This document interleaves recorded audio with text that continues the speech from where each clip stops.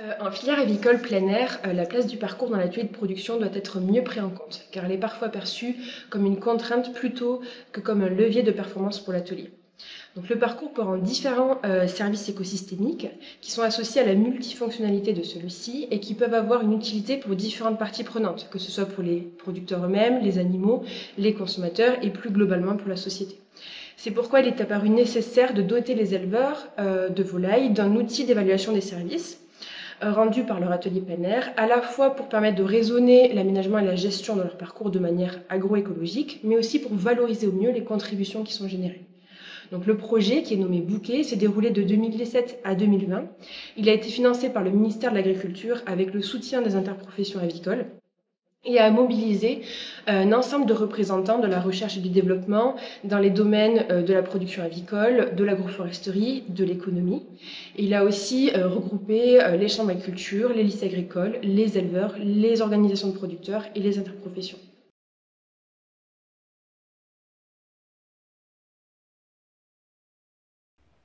La méthode Bouquet comprend 13 services répartis en 5 catégories de services qui peuvent être mesurés à l'aide de 29 indicateurs.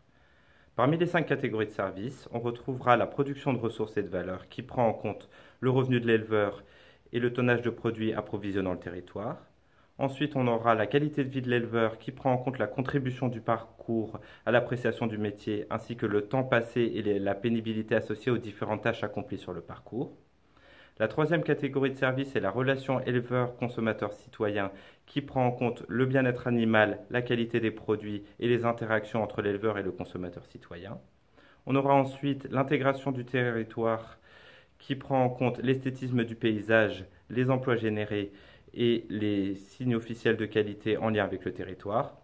Et enfin, on aura la qualité environnementale qui prend en compte la vulnérabilité des eaux face à la pollution à l'azote et au phosphore, le stockage carbone, la biodiversité et la pollinisation.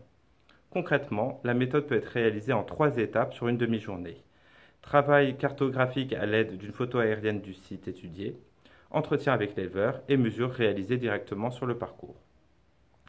Les données sont ensuite saisies dans un calculateur qui attribue un score aux différents indicateurs ceux-ci sont ensuite agrégés pour donner une valeur aux services, puis aux catégories de services.